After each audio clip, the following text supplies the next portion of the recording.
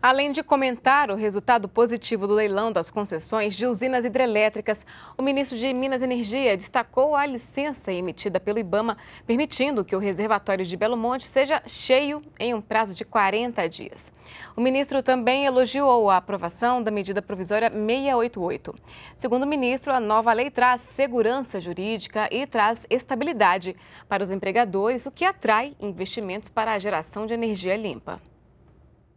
O que, que é o grande ganho do consumidor?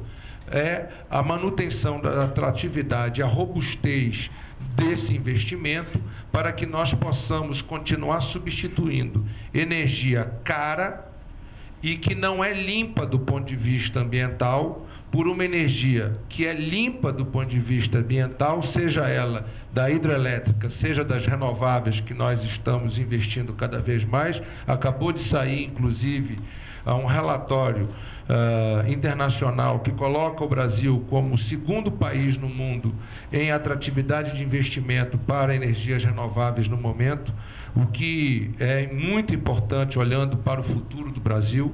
E isso, obviamente, que precisa ter atratividade de investimento.